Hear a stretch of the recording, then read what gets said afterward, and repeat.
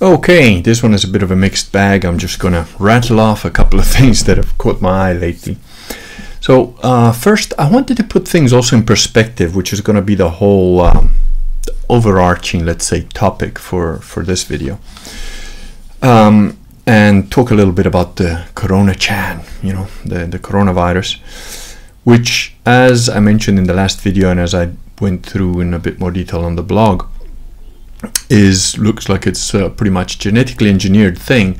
And here's the interesting thing, because obviously Bill Gates is deeply involved with this, given that he's one of the, the people that's involved with the Pirbright Foundation, which patented the coronavirus in 2015. Um, and you can verify these things for yourself. You don't have to believe me. Use your uh, DuckDuckGo search engine or whatever and uh, figure it out. But the uh, the incredible thing is that you know what I'm wondering is are they elites like it just goes to show they're not all on the same page because you know coronavirus kills Orientals more. Zuckerberg is married to a Chinese woman now. Maybe he's just looking for a cheap way out of a divorce. Who knows? And he's in cahoots with Bill Gates or is he against it? Tough to tell. But um, keeping things in perspective, think about the Black Plague, which wiped out pretty much a third of humanity in, in the known world at the time, you know, in the in Europe and so on. A third of the human race was pretty much wiped out. Um, now, by all accounts, this coronavirus seems to have a mortality of about two, three percent. Um, but you know, it's early days. Let's say it's five percent and it also seems to be genetically engineered to affect Orientals a lot more. So, you know, there is that. The, the data coming out of China is obviously fake. It's obviously false because it follows a linear trend that's 99.9% predictable, which obviously is not based on anything real. So, you know, it, it sort of makes you wonder what the real numbers are in um, in China. But from all accounts, uh, at least from the more credible sources that we can get, there's about two, two, two to three percent mortality rate. But let's say it's five percent. You know, five percent means that if you catch the disease, you basically got to roll a one on your d20. You know, if you roll a critical fail, then you die. Otherwise, your saving throw is just pretty good. You know, so unless you're an old man, a baby, you know, somebody that's already got some other weaknesses, diseases, you're probably alright. So it's not really a cause for massive panic. Now, that doesn't mean that there aren't going to be repercussions because the modern world is so interconnected that, you know, if they close down a port because some of the guys on the docks get sick, and I mean, like they, they shut down an office in Canary Wharf with hundreds of, of employees because one person had visited uh, I can't remember if they came back from Italy or China or whatever, one of the countries where there is a bit of a thing going on, and they had flu-like symptoms. So quickly panic, shut down the office for two weeks. you know, it's like, and that's Canary Wharf. That's one of the central uh, financial districts in in London. Um, they've shut down a school that I know of. Um, so people are, in a certain to a certain extent, panicking. But again look, obviously, you know, if a loved one, you know, somebody you care about is one of the people that gets infected and dies, it's tragedy for you. But in the big scheme of things, you know, the coronavirus doesn't look like it's going to be the zombie apocalypse that people think it is. So keep that in perspective. And also, this leads me around to another topic, which is black pillers. You know, black pillers are those people that are like, the sky is falling, and there's transgenders everywhere, and they're going to force you to be gay next, and we're all doomed and there's no way out. Those people are scum. Okay, if you're a depressive and depressed black piller, just do the world a favor. Just go into one of the mass graves that should be built for you somewhere. These are useless human beings. They're, they're less than useless. They're a drag. They're an actual drag on the human race. And I quite, I, I pretty much despise them more than the active enemy. I, despise them more than Antifa because they're just demoralizing, depressed, depressing, weak, weak-willed losers. I mean, and again, you know, this for me all ties together to like Catholicism and, and everything because if you think about it, think about the great battles that were won. I mean, like the Island of Rhodes or the, the, the Siege of Malta or the Battle of Lepanto. I mean, in Rhodes, the Crusaders there, you know, people that try and say that, oh, the, the Islamic world was, you know, all great and it educated the West. It's all bullshit, of course. They, the Islamists have always been barbarians and they always will be. They're backward people, and the only um, contributions they did was because when they took over other countries, other areas that had Christians in them, um, those Christians were the ones that knew how to do the maths, how to do the astronomy, and it was those Christians that translated it into Arabic. Not even the Arabs themselves. The, the Christians translated it into Arabic, and then some of the Arabs, some of the elite classes read it and knew a little bit about it and whatever. But you know, the, the numbers that they're all saying, oh, they're Arabic numbers. They're not Arabic, they're Hindu. The math comes from the Hindus. The astronomy, mostly from the Syrians, but also the Copts. Um, they. Uh, anything to do with architecture was Christians. Even the minarets and that was Syrians and was Byzantines. Literally, the Muslims are, you know, just uh, like orcs, basically. They're just a warring orc type people that they just take over and assimilate what they can. And they can't even maintain the technology, even when they do get the slaves and the dhimmis and the, the captured Christians to do the stuff for them, they still can't even maintain it or use it properly. Which is why, um, even after um, you know the, the Crusades left the the Outremer because they couldn't afford to just keep funding it because obviously you know the Orthodox weren't helping. Um, they just kept making deals and deals and deals with the Muslims, and eventually Constantinople fell.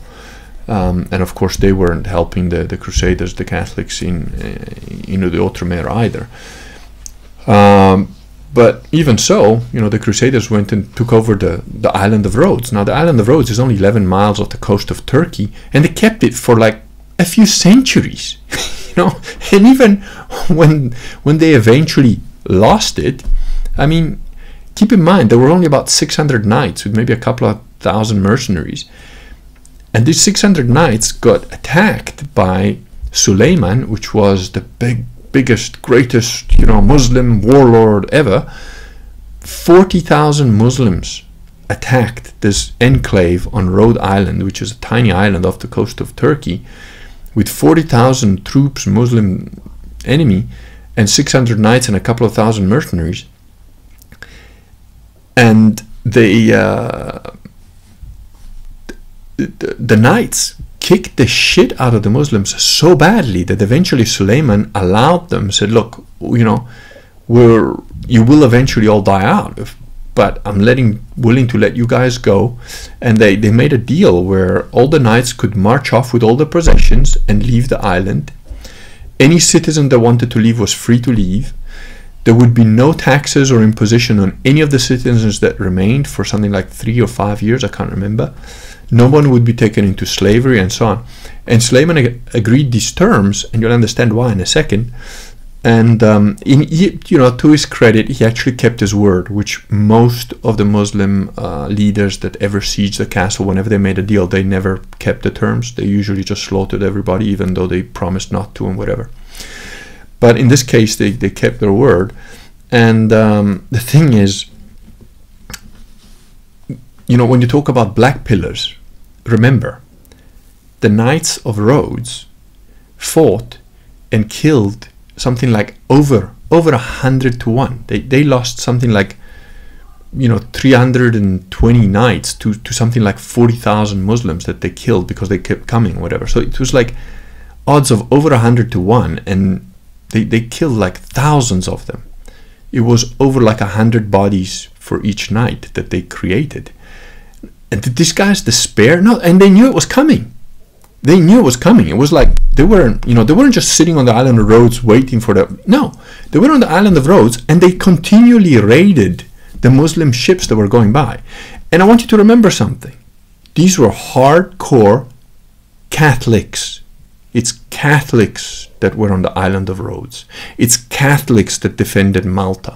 It's Catholics that had the Battle of Lepanto not Protestants anything because they didn't even really exist. Uh, you know, they barely started, and not the Orthodox. It's only the Catholics that did these these things. So keep that in mind, and it's important. It's important to remember this stuff because you know people look at Bergoglio and think, yeah, well, the Catholics, you know, they just rape children and yeah, that's not Catholics. That's the Norkians, you know, Novus Ordo, short for Novus Ordo, Norkians. The Norkians do that.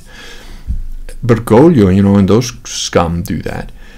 But the Catholics took over the island of Rhodes, kept it for a couple of centuries, and continually harassed the Muslim shipping to the point that Suleiman eventually got pissed off and said, Right, I'm going to wipe these guys out. And he couldn't. And then what did they do? They moved to the Isle of Malta. And 43 years later, Suleiman, same guy, tried to take over the island of Malta. That didn't work either. It was a different leader then. You know, the the, the, the chief of the of the knights in Rhodes was Adam something or other, I can't remember his name. And he then went to the Isle of Malta, but by the time that Suleiman came on, it was Jean Parisot Le Valette that uh, was the chief of the knights. And it was an astonishing defense. Once again, you know, the Muslims lost thousands of men to like something like 500 knights. And a few peasants that were trained in weapons and you know a couple of volunteers and mercenaries. And no one came to their help. Because as the pope said at the time who was trying to get you know the kings of europe to come and help malta uh, he said well you know king philip is is like the the um, king of spain which was king philip i believe at the time he's embroiled in all these wars and Spain was never really an empire. It was a backward society that, that was he was trying to hold on to this vast empire had wars on every front. And and the Pope said and the French and the English are you know and the rest of Europe are um, have got women or children as their leaders because they had queens and like young kings and stuff like that. So eventually the Spanish sent somebody um, but yeah and again, these were guys that knew what was coming and they stood there and they fought at odds of 100 to 1. I mean, Le Valette was over 70 years old and he was fighting on the walls at every point, every time, whenever there was a fight, he would be in there at the front, you know, even when he was wounded in his 70s, wounded in the leg with very little armor. And he just fought all day and his men were imploring him, please, sir, get down. He was like, nah, I'm good. You know, what a way to go. if today is my day. And he didn't even die in the battle anyway. So that's what it means to be Catholic. That's what it means to be a proper Christian. None of this church and bullshit. And again, you know, the Knights of Malta also raided the, the, the Muslim uh, shipping. Rightly so, rightly so. Um, because, of course, the Muslims raided the European lands for, for centuries. You know, they, they got literally millions of uh, slaves, of women and children as slaves, and they usually kill the men. Then they'd raise the children to become their elite fighting unit even as uh, you know, as Muslim captors and Muslim slaves that became Muslim fighters, the best troops of Islam were the Christians that had been kidnapped as, as kids or become or been made into like fighters for the Sultan, uh, the Janissaries. So when some guy goes, oh, you know, the transgenders are going to take over, it's like, what kind of worm are you? Are you not ashamed? Are you not ashamed to call yourself a man if, if that's your attitude? It's just pathetic. Really pathetic. So keep that in mind when you start to despair a little bit, you know. Like 500 years ago, there was some knight like swinging his sword on the walls all day and rebuilding the walls at night, wounded, dying, with no water maybe, thirsty for days, you know, and yet they did it. So what the fuck are you bitching about? Yeah, coronavirus is just gonna kill us all. No, stop bitching. Yeah. That's pretty much my message. You know, it's like I am kind of disappointed by even you know the the got quite a lot of people following this channel, and some of them have joined the the the Kurgan Immortals on Facebook. And I understand if you don't want to be on Facebook, it's fine. But you know, I'm like, fuck it. I'm to use the, the, the tools of the enemy to, to fight him. Why not? I don't care. It's fine. I'll use whatever. Oh, but the NSA is listening in on you through your television. So let them listen in.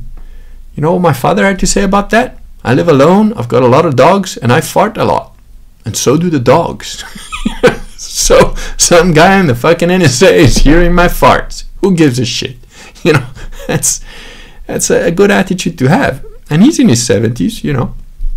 So all you guys that are a little bit depressed and depressing, you know, just just no, that's not the way to do it.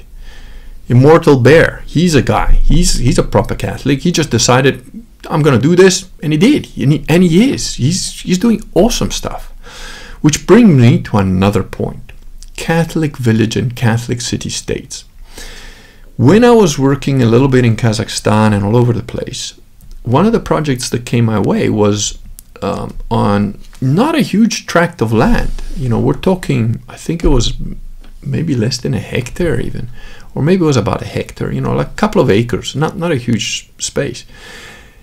And it was a modular building of putting to using cargo containers to build a little community of small apartments, shops, and there was even an abattoir and, a, and a, in this case it was a, a mosque but what i thought about is like well why couldn't you do that for catholics so catholic couples that maybe don't have a huge amount of money or young families if you create you know near a town or sort of but it's outside so that you can create you buy a piece of land and you put together these you can use cargo containers or modular homes or something you know standardize it. Make it easy and cheap so it's affordable.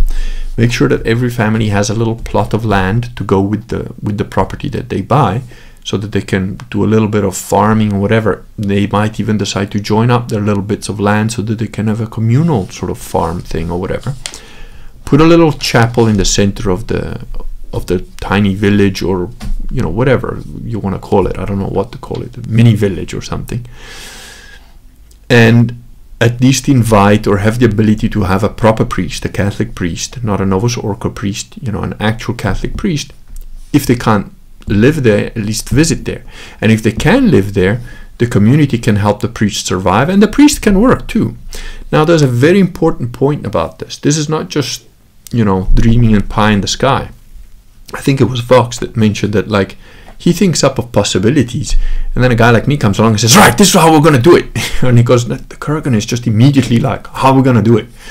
And and it's true because I'm a tactician rather than a strategist. But the point is that monasteries were the creation of capitalism. It was monasteries that created capitalism because it was a community of disciplined men that worked and produced food and beers and all sorts of stuff and they produced it so well that they got an overabundance of it and then they started to sell it and they started to trade with it and they became wealthy there's absolutely no reason why a little Catholic community that starts out with a couple of cargo containers and a little chapel, and it doesn't matter if the chapel is a tent, you know, it's fine. But it has to be clearly delineated as hardcore Catholic for a simple reason that you then won't have the undesirables because you don't want people that you know smoke drink do drugs all that shit. So you buy a piece of land you make it private property you get an application. So people can buy the land can buy their property they can buy their little plot they can buy their little apartment or little house or whatever it is that you build. But you make sure that no the community has to agree that yeah you're a catholic yeah you're a proper catholic you're not an orcian uh, you understand what we're about. You know, you you don't get crazy drunk in the weekends and whatever, shout, beat your kids, and do drugs. You don't smoke marijuana. In fact, you don't smoke. Period. As far as I'm concerned, you know, if it's a Catholic community, it should be completely non-smoking. Just fuck off. There's no reason that anybody should have to smell your your dirty, filthy, disgusting drug habit because you can't control yourself. Nah. I, I, despise smokers and smoking. It's an idiotic thing. It's got no serves no purpose whatsoever. So I would I would ban smoking outright in those communities. Also because if they're Catholics and they're proper Catholics, there will be children and loads of children and loads of young children, which means that they can grow up together, play together in an environment that is truly communal and of, of a community that is not you know, and keep in mind that Catholics are both insular but communal. In other words, what you do inside your own home, that's your business. But outside of your home, you know, you if your neighbor's kid is doing some shitty thing and you know about it, you're like, hey, your kid's doing that shitty thing, without being a nosy, you know, curtain trembler type person. But um, that would be amazing. So um, there are some people already talking about it. They've mentioned Alabama, they've mentioned Florida, purely because if you are going to do something like this, um, the most important thing you need to understand is zoning laws, building laws, building permits, water, access to water, access to sewage, access to electricity. None of these things are insurmountable odds because, you know, even for sewage, even if you don't have a sewage line that runs nearby that you can connect to or whatever, you can have septic tanks, so that can work. Um, you could have a big central septic tank for the whole community, depending on how big it is, and you can modularize it. So, you know, it's one little community has a huge septic tank and X number of little homes, and then you can add on to it, you know. Um, but of course, building codes is there. You know, what are the building codes? Are they do they fall within the limits? Are the permits and that sort of thing really onerous, or are they relatively easy to get? Uh, what's access to clean and fresh water like? Um, can you have a well? Do you have a stream nearby? Are you allowed to, you know, process it? Uh, make have your own little water plant or whatever. You know, these are all the important things, the practical things. Once you figure that out, then it's just a matter of land. How much land can you get? How much land can you buy? And then doing it, building the project. Doesn't have to be super expensive, you know. With like a couple of million dollars, you can do a lot. You can do quite a lot. Um, we were looking at this in, in Kazakhstan, and it was very, very affordable. The um, the investor that wanted to do it eventually he didn't go for it. He had some other deal come up and uh, then he was he didn't have enough money to do both and I think he, he went with the other deal. I don't know what the other deal was because I wasn't involved in it but um, so that's an idea and if, if you want to do that you know run with it. Um, there are plenty of countries where you could do that so speak to your friends speak to your family. Get a little enclave going somewhere you know get in touch. That's why i created the little groups the kurgan immortals and that's why i'm on social galactic. It's you know i'm not a really a huge fan of all these digital ways of getting across including this but it is a way to get make people aware and so on. So we also have um, a little project. I still don't want to tell you the details of but it's it's good. It's getting close to the end and i hope in the next couple of weeks we will be able to um, to issue something that's very unusual. You know, it's not for everybody, but um, but it's it's going to be something interesting and very very Catholic. So um, that's about it, I think. So if you want to run with that idea of the little Catholic community, please do and let me know about it. You know, if you're going to do that, let me know about it. I mean, I might be able to help. I might be able to indi- give you some pointers. I've been in construction for you know many years now, um, over 30 years now. So I know something about that sort of thing and um, yeah, and whatever. You know, if there's an oligarch out there that has been hit by lightning and decides, hey, I want to do this, I'm your man. You know, just drop me an email or whatever. Okay, that's about it. Have a good evening.